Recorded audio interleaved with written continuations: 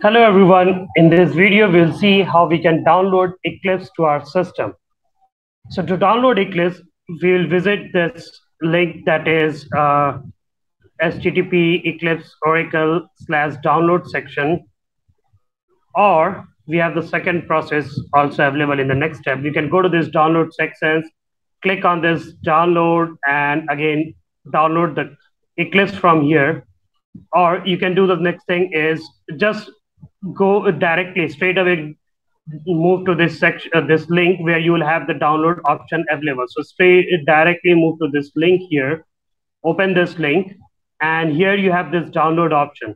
So it's like you can go through steps by steps or straight away you can come to the download page.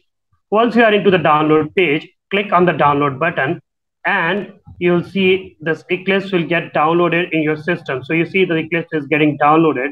So once the eclipse is downloaded in your system, then you have to add the JDKs to your Eclipse while installing. So once the JDK, uh, once the Eclipse is installed or once Eclipse is downloaded, then at the time of installing, by default, you will have the JDKs added. So we'll wait for this Eclipse to get installed. It will take some time, and once it's downloaded, then we will install. So let's wait for a minute.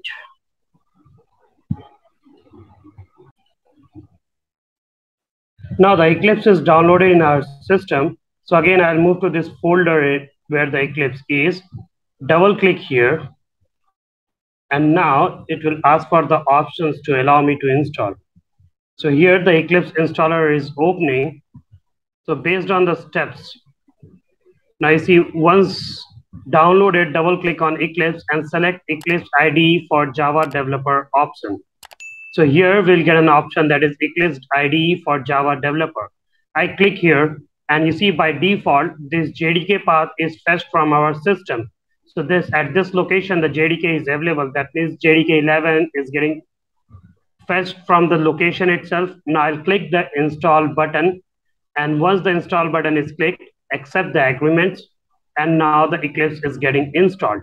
So once the Eclipse gets installed, we will have the launch button and then we will launch the Eclipse. And later we'll see how the Eclipse setup is fully done and how I'll run a class and show you that the Eclipse is fully up and running. So now it's taking time to install. Once the installation is done, we'll have the launch button. So once it will launch, then we can use Eclipse straight away.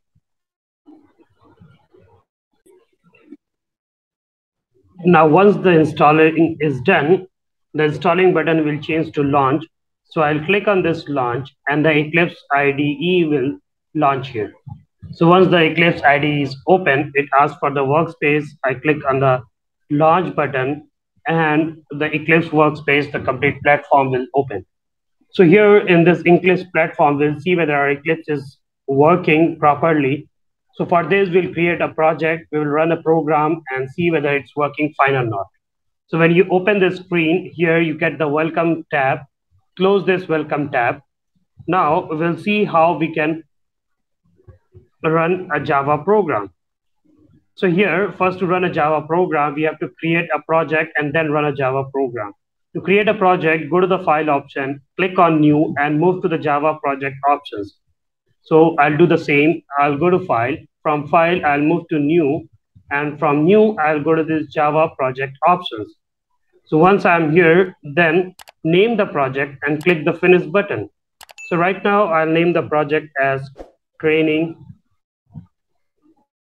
training project. And straight away, I'll click the finish button. So now it's asking whether you want to add the module info.java. So here, always remember, click on don't create button. So once this is done, you see uh, the training project is available here. So once the, the project is created, then in left corner, click on the arrow button. So this is the arrow button that I'll click on. And here, once we click on the arrow button, we'll go to this SRC. So in this SRC, we'll create a package.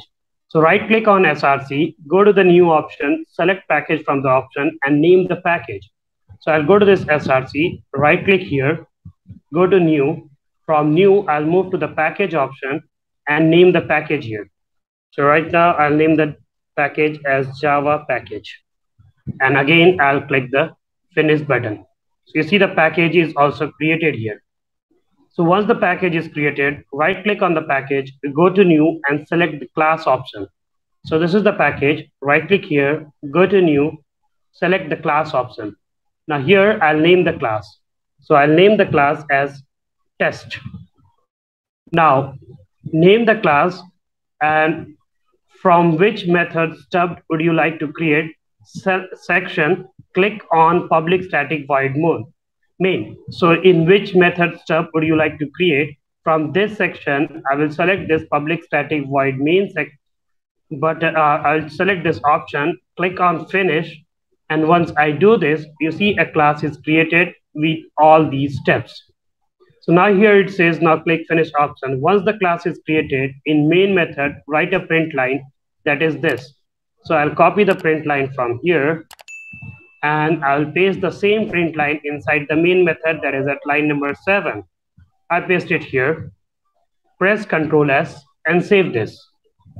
After saving, to run the code, go to the green button on the top and run the code. The output gets printed in the console window. So this is the green button on top. Click on this green button and you see in the console window, the message is printed, my first code, the message that I've written inside the print line. This shows the complete setup is done and my Eclipse is up and running. So that's all in this video. Thank you.